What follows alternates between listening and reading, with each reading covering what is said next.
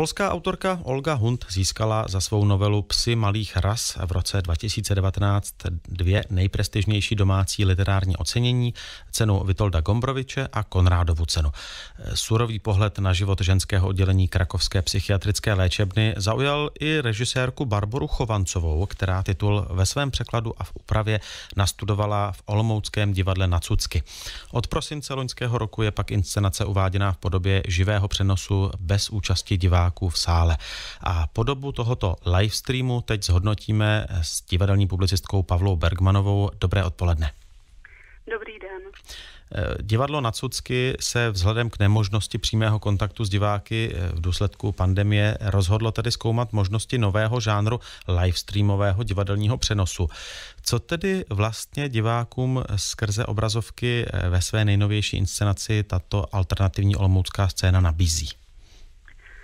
No tak uh, nabízí především takový specifický tvar, pohybující se na hranici divadla a živého audiovizuálního přenosu, uh, v rámci kterého se tvůrci rozhodli celkem netradičně využít prostory divadla na Cucky. Uh, ty jednotlivé výstupy, během nich jsou vlastně herečky snímány kamerou, se totiž neodehrávají jen na jevišti, jak je to většinou obvyklé, ale řada z nich je přenesena do různých zákoutí samotné budovy divadla. Dokonce v jednom případě herečka na chvíli opustí eh, to divadlo a vydá se ven na náměstí do ulic.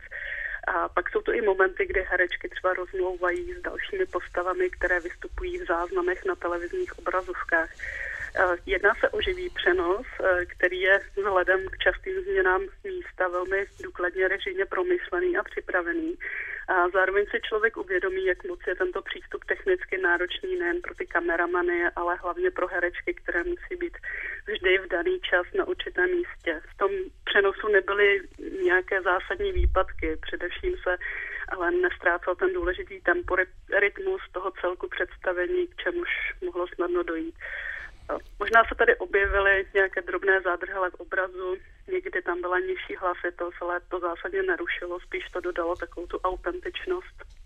Daří se tedy pomocí té technicky náročné formy zprostředkovat eh, duch té literární předlohy?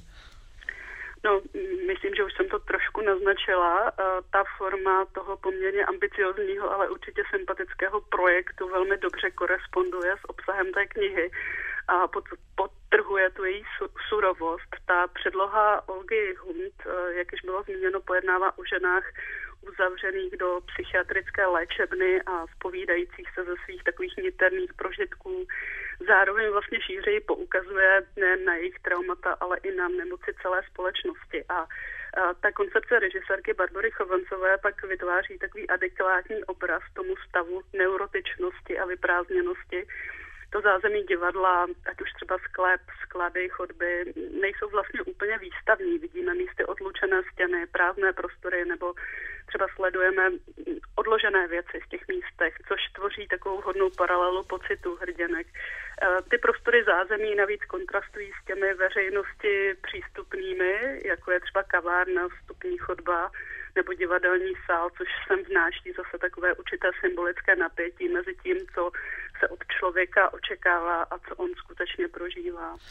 A ta volba tématu není přece jen pro tuhle dobu eh, příliš pochmurná? No, pochmurná pro dnešek určitě je, zvlášť v těchto dnech.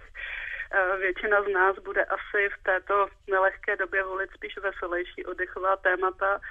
Eh, nicméně myslím, že může sehrát i určitou očistnou roli pro diváky, kteří se v tom současném světě cítí vlastně velmi podobně, ač nemusí jít teda přímo o nemoc. Eh, speciálně teď si člověk uvědomuje, že žijeme vlastně ve velkém omezení, že svět kolem nás je svým způsobem nemocný Ode dneška jsme navíc podobně jako ty hrdinky um, povinně nuceni být více než kdy uzavřeni před světem venku. Ta paralela s tím covidovým stavem je značná, i když možná ten původní záměr inscenace ji tak evidentně nezdůrazňoval, až ta doba si ji svým způsobem vlastně našla a v každém případě to spoluprožívání může mít i jistý kladný vliv na tu očistu diváka. Jinak pro mě je tam ještě podstatné další téma, kdy se vlastně tvůrci ptají, jestli je možné, aby se nemocný člověk uzdravil v nezdravé společnosti a otevírá se to vlastně i úvaha nad tím, jestli by dříve neměla být uzdravena právě ta společnost než ten jedinec. Jak byste zhodnotila herecké výkony? Má ten neobvyklý filmový přenos nějaký vliv na jejich podobu? No tak v té souvislosti je nutné zmínit dvě roviny těch výkonů. Herečky musí zvládat velmi přesně tu technickou stránku, být v pravý čas na pravém místě tak, aby je kamera zvládla snímat z nějakého vhodného úhlu a v nějaké přesné kompozici. To musí být určitě jako náročná a také dobrodružná práce, zejména v kombinaci s tím samotným hereckým výkonem a potřebou soustředit se na něj. Ty tři herečky přizvané k účasti na projektu, konkrétně je to Anna Čonková, Milada Vyhnálková a Pavla Dostálová se s těmi nároky vyrovnávají velmi dobře. Nejsou tam nějaké evidentní technické výpadky, které by se daly samozřejmě očekávat. A herečky pak hlavně popisují a prožívají pocity svých hrdinek, vyprávějí jejich životní příběhy, což zase klade nároky na zvládnutí poměrně velkého množství textu, takže to opravdu nemají lehké. A ten jejich projev je pak co nejcivilnější. Převážně tak jako introvertně stišený, dominuje zejména práce s hlasem a miminkou. A vše to má takový jako dokumentární charakter. Herečky se často dívají přímo do kamery, což samozřejmě umožňuje ten zážitek a přibližujete jejich pocity. A, takže myslím, že se s tou náročností herečky vypořádaly velmi, velmi důstojně. Online stream inscenace Psy malých ras Olomouckého divadla na Cucky hodnotila v mozaice divadelní publicistka Pavla Bergmanová. Děkujeme za to a naslyšenou. Naslyšenou, krásný den.